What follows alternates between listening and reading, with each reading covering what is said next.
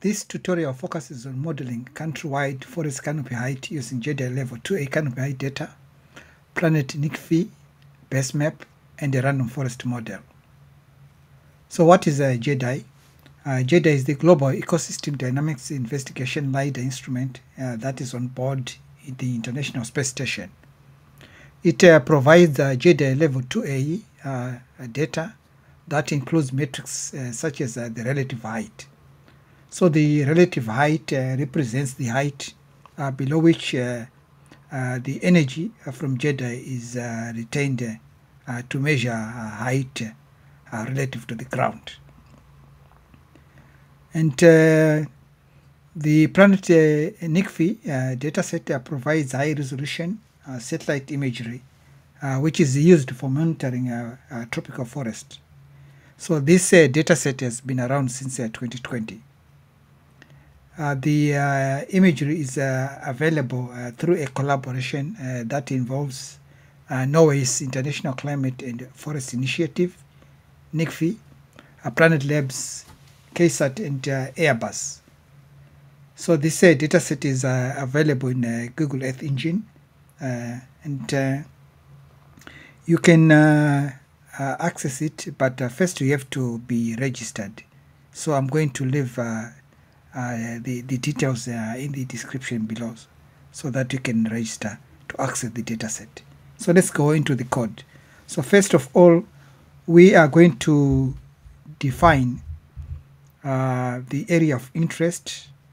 So in this case, you are going to use uh, the global uh, dataset of uh, of country boundaries uh, in order to filter to our country of interest. So in this case, we are going to use uh, Zimbabwe uh, for the demonstration purposes, but you can select any country that you want.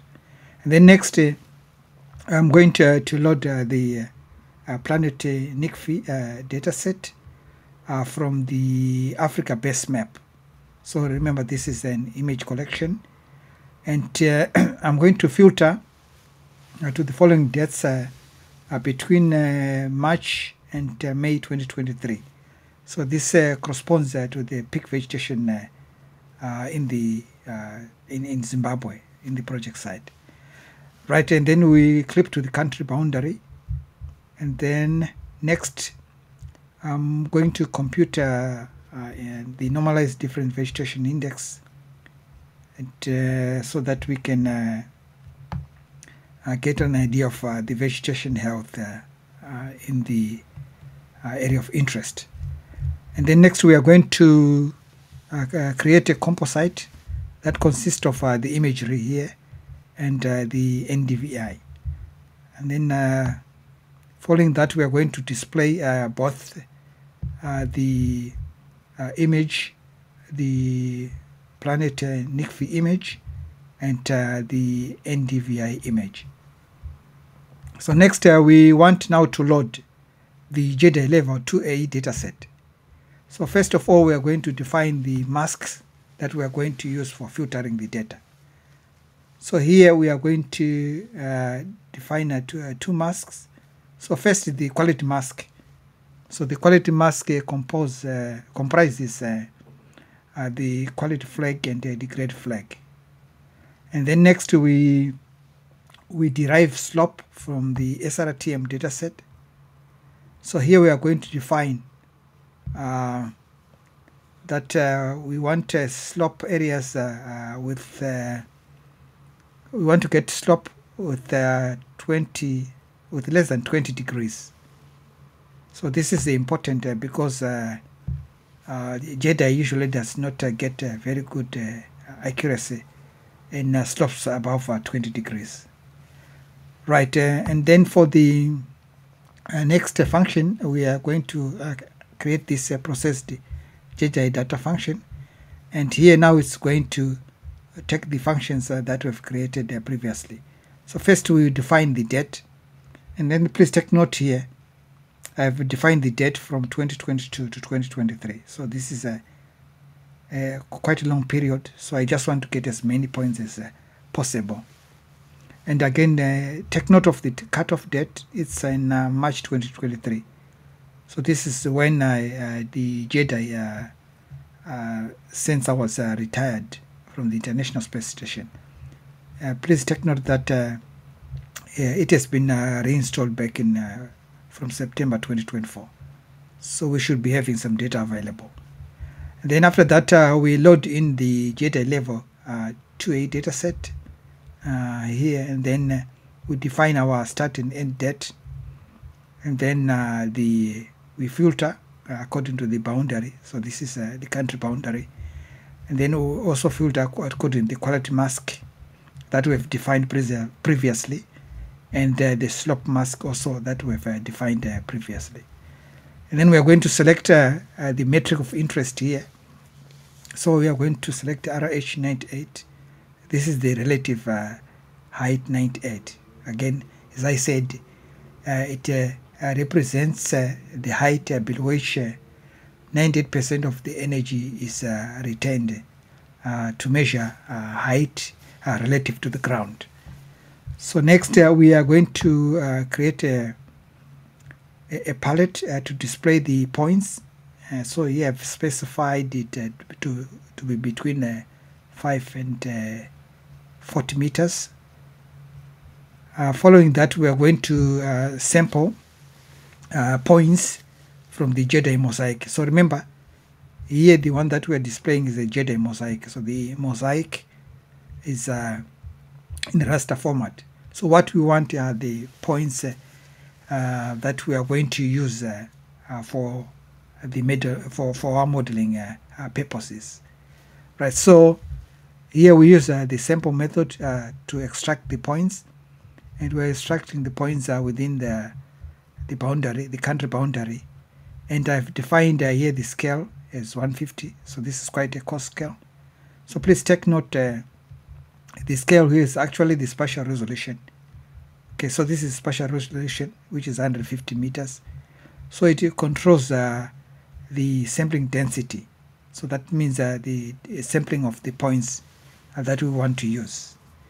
Right, uh, please take note here that uh, Uh, the coarse uh, uh, resolution is good because it is it's it is efficient in terms of the computer resources.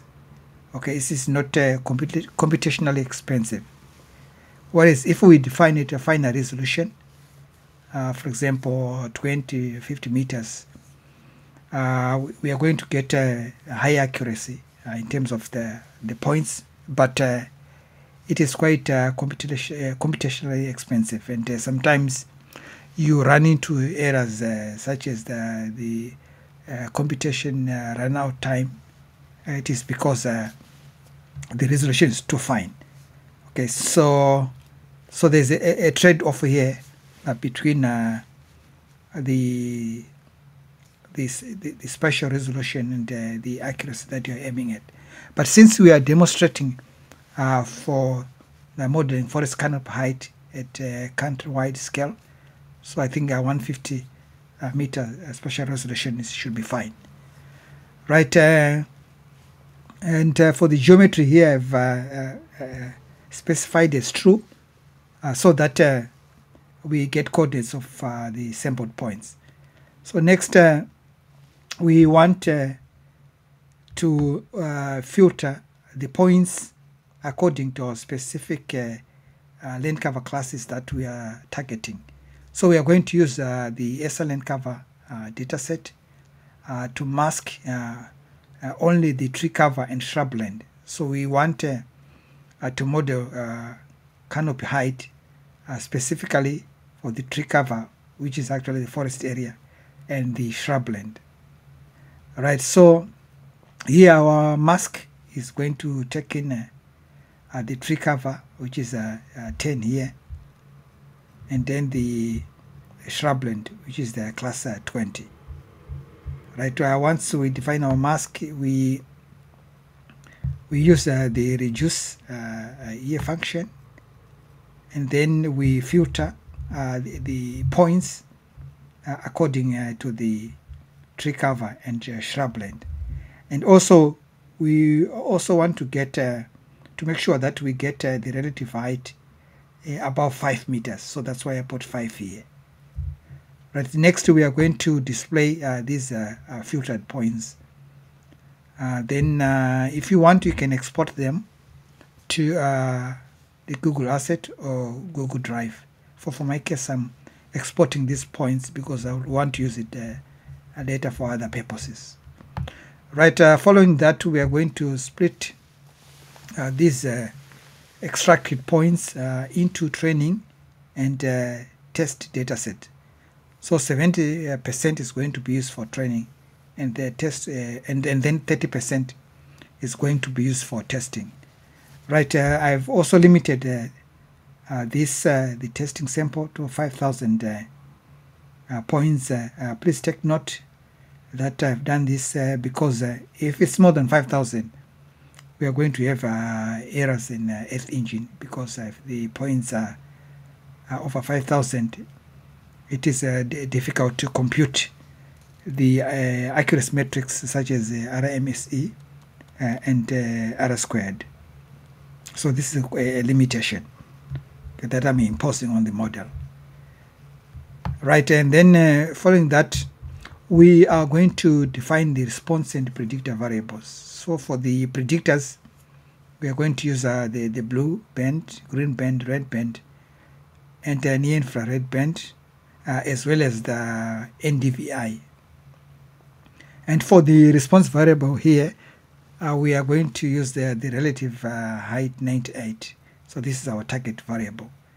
Right next uh, we create a function that we are going to use uh, for the modeling purposes. Uh, so here we are just defining the scale, which is at 100 meter spatial resolution. And then we will, take a the uh, the training sample data okay this is training sample data we define uh, our response variable and then we, we are going to use this uh, sampled now uh, data set uh, in order to do our to perform the the model okay? So to perform to, to perform the random forest uh, regression modeling. Right uh, here the, this uh, function is going to uh, uh, take in the sample data okay? For the training sample. And then uh, we have our response variable which is remember the relative height 98 and then the predictor variables we have the planet bands and NDVI right and then we need to specify that this is a regression model since we are predicting a, canopy height. Right. Uh, next, uh, uh, we also uh, specify the the validation. Okay, so here for the validation, we are taking just the test sample. Okay, test sample data, the 30% that uh, we used, we reserved uh, for checking the accuracy of the model. And then uh, we specify the metrics that we want to, to, to calculate. And here we have got a RMSE and uh, the R squared. So these are the metrics that we are going to use uh, to check the model performance. And then uh, finally, we are just uh, going to uh, uh, predict the final model and display it we also want to display the legend. So creating a legend is a bit of a hassle in uh, uh, Earth Engine. Uh, so here this is uh, the code showing how we, pre we prepare the uh, legend. So uh, we get in a palette. So we are getting our palette from this uh, package. And then we also need to define the lower and upper limit of the data set. So the code is going to get in the minimum regression from uh, the predicted uh, canopy height and then it's also going to get uh, the maximum uh, prediction from the canopy height prediction and uh, take note that uh, the scale is uh, the 100 uh, as well. So this is a quite cost uh, but because we are uh, modeling at a countrywide level then I think this is a it's okay to have this scale. So let's just run the code and see the result. Right.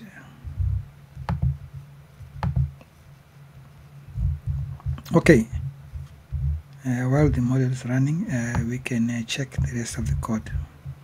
Okay so we are already getting uh, the results. Right uh, so the for the rest of the code finally I would want to export uh, this uh, uh, final uh, predicted uh, canopy height map to Google Asset. Uh, because this is quite a, a heavy map. uh, It is a 5 meter uh, resolution. So remember, this is for the whole country. So downloading it to Google Drive will take uh, a lot of time, and uh, the image is going to be split into many parts. So I will just keep it in uh, in my asset, and I will retrieve it whenever I, I want it. Right uh, here we've got uh, the results. So for the the RMSE we have uh, four, which is uh, quite uh, good. So four meters, uh, the error, and the R squared here is uh, 25, uh, 0.25. So please take note here that I've limited the points one to about uh, 5,000. Okay, so it's not taking all the points.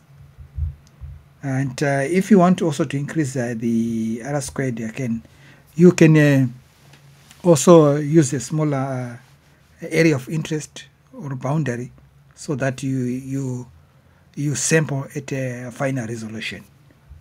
Right, let's uh, check uh, the final map.